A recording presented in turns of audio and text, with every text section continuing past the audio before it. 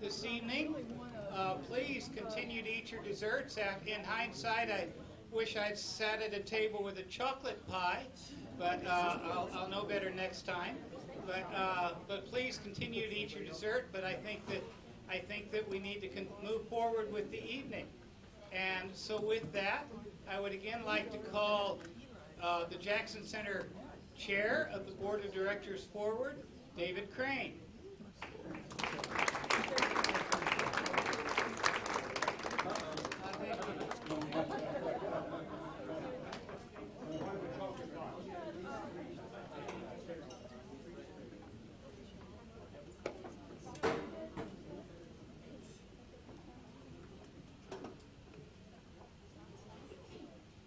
Well, good evening again, ladies and gentlemen, and thank you for being here. Uh, Over the past several years, we've had a special ceremony uh, where we have honored a particular individual who has, in his career, in his lifetime, uh, brought great credit upon himself by advancing principles of humanity that we all, most of us in this room, have dedicated our lives to. And many years ago over, over lunch with my dear friend Joshua Heintz, uh, he looked at me after I was briefing him on some of the things that you all were doing, and he goes, you know, this is God's work. This is God's work.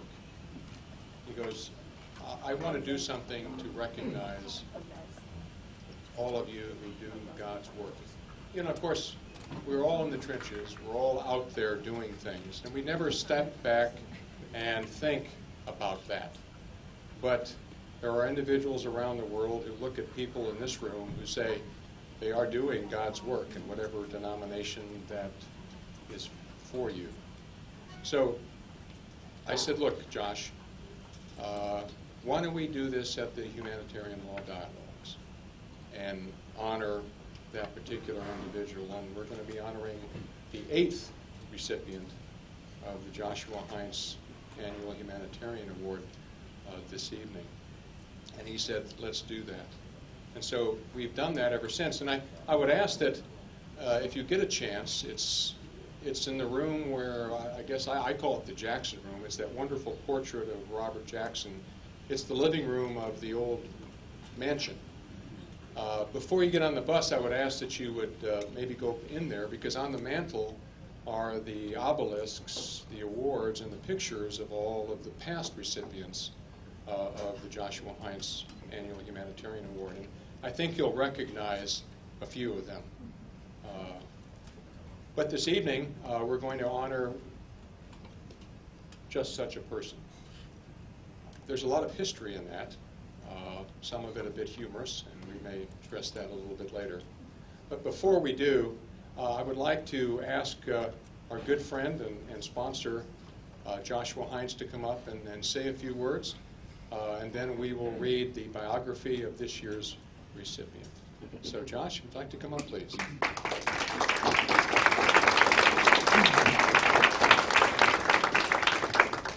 Uh, Thank you, David. Um, It's a, it's really a great honor and uh, privilege to be amongst all of you who do so much for humanity. And uh, I was at our table having dinner and reflecting on uh, how many of you have done so much uh, for people who really have no ability to advance their own uh, rules of law, principles, or even their family. Um, and I was thinking about um, this month, uh, Janice and I were greeted with two princes. Uh, we went to uh, our summer home in Prince Edward Island, and we have Prince Zeid here. And we went, we went, and we went, uh, one day we read uh, about the uh, uh, meteor showers. And interestingly enough, a meteor shower is a number of bright stars streaking across the universe. And in Prince Edward Island, there is really no cloud cover. Uh, it's a very pure place. It is uh, due east from here, about 600 miles, etc. Well, lo and behold, uh, that night, only one shower uh, occurred with one star. So tonight, we're here to honor one star in the humanitarian uh, realm. And I'd like to thank you all for coming and participating in this. Thank you.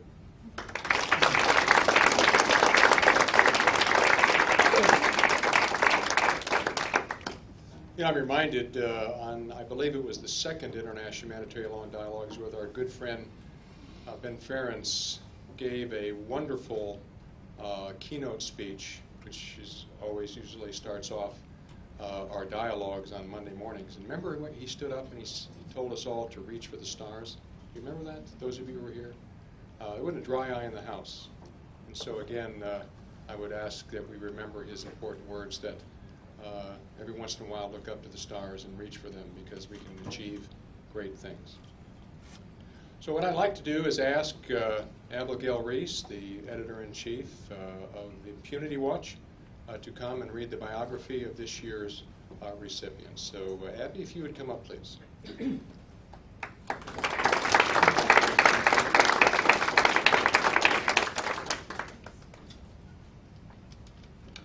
Thank you, Professor. Good evening. Prince Zeid currently serves as Jordan's permanent representative to the United Nations, a position he has held since 2000, though took a break from in 2007 through 2010 to serve as Jordan's ambassador to the United States and non-resident ambassador to, to Mexico.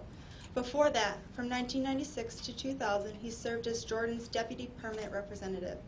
With his knowledge of international justice matters, Prince Zeid also played an, a crucial role and central role in the establishment of the International Criminal Court.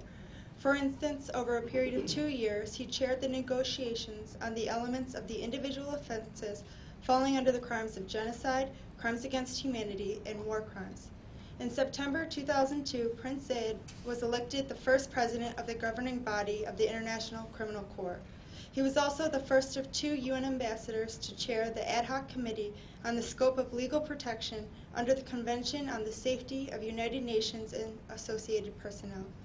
In the spring of 2004, he was chosen to be the chairman of the panel of experts for the UN Secretary General's Trust Fund to assist states in the settlement of disputes through the International Court of Justice in the matter relating to the boundary dispute between Benin and Niger.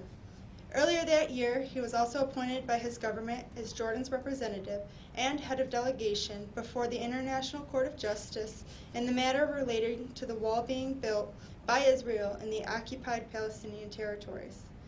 Prince Zeid has also been a political affairs officer in the United Nations Protection Force in the former Yugoslavia, a position he held from February 1994 to 1996 and he has also worked intimately on a number of peacekeeping issues over the last 20 years.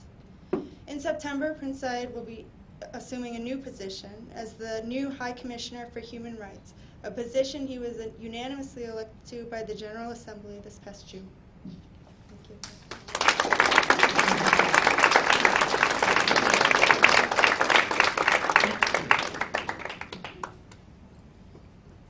Say, please come up, uh, Josh.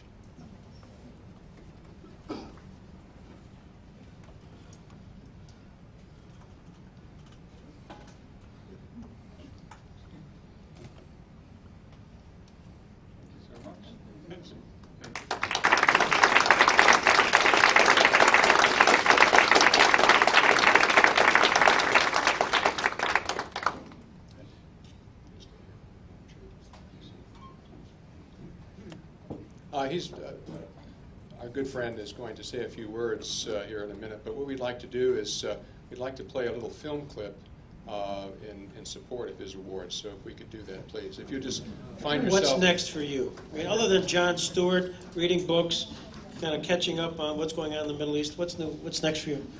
Well, I, I, you know, I, I turned up here in the mistaken belief that I actually won the Heintz Humanitarian Award because it wasn't clear in the invitation, and so I, I, and so I sent a note to David, and I said, David, you know, I, I'm very proud. You know, my mother's very happy, my children are very proud, and, but I really don't know what I've done in, human, in a humanitarian sense to have, uh, you know, to have warranted this or merited this. Now, quietly to myself, I always knew that I deserved something, but I couldn't say so. And then he said to me, Well, actually, it's not for you, it's for someone else. So, uh, so I suppose I have to come back and win it at some stage. Well, I knew that, I knew that you were upset.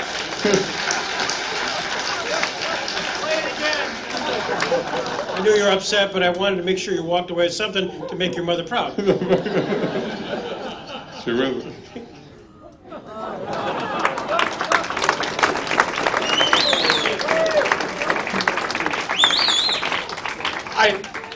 Couldn't resist. But we all know, and again, uh, when the executive committee was considering uh, who was going to get this year's award, you know, at, at the time, we thought that our good friend was literally retiring.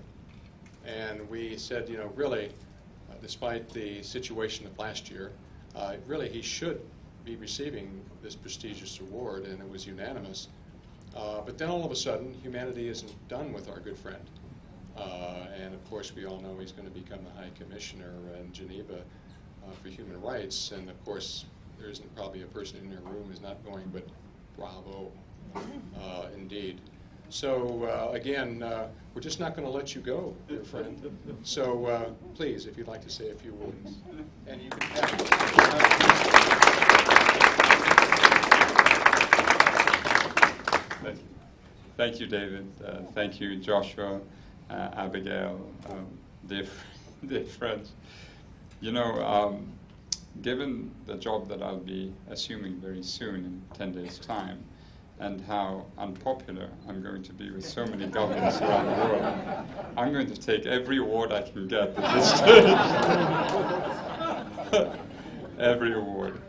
Um, although when David did call me up, I, I, this time I really was surprised because um, there's something surely wrong with giving an award to um, uh, someone who had been serving on the Security Council. Uh, if I deserved anything, it's be to it's a, a, a telling off uh, in the very same uh, manner in which um, uh, Navi Pillay told off the Security Council last week for having failed to do what it was charged by the UN Charter to do, uh, to save, uh, the UN organization, of course, is mandated by the Charter to save succeeding generations from the scourge of war.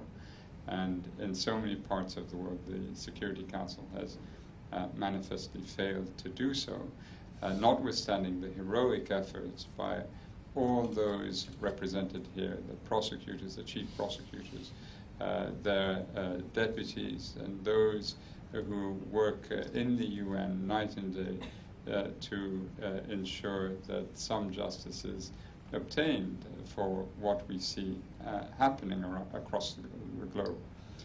the one bright spot, if I can call that, in my seven year, seven months, sorry, on the Security Council, was when I was having to think about what to say uh, on the occasion of the 20th anniversary commemorating the start of the genocide in Rwanda.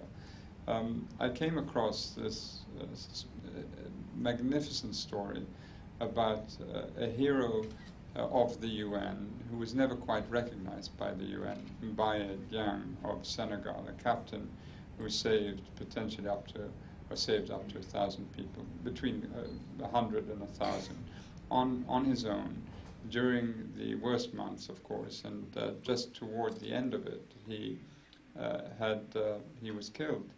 Um, and what really struck me is that uh, his family were struggling 20 years on uh, to cope with the fact that not only had they lost uh, their father, their husband, but there had been no recognition of this, the heroic feats that this UN officer the Senegalese officer undertook uh, in the service of humanity. And uh, so I, I thought uh, if we were going to commemorate the, the, the, these, these awful uh, events that led to the uh, death of about 800,000, uh, perhaps a million Tutsis and moderate Hutus who had opposed the genocidaire, uh, that perhaps what we needed to do is recognize the efforts and the actions of real heroes. Um, and I hope uh, once the UN uh, decides exactly how to make this award uh, available to people who work in the UN at the service of the UN, that people will read more about Mbaye Diagne. And certainly, as High Commissioner, I will constantly refer to him because we need role models. We need courage. We need, especially at this juncture, we need to defeat whatever hesitancy uh, so occupies us, whatever uh, uh, arguments we present, and, and in, in whichever way we rationalize inaction uh, and take the right action in defense of people all over the world. And I'm most honored to receive this uh, award, the Joshua Heintz Award. Thank you, Joshua. Thank you, David. Thank you.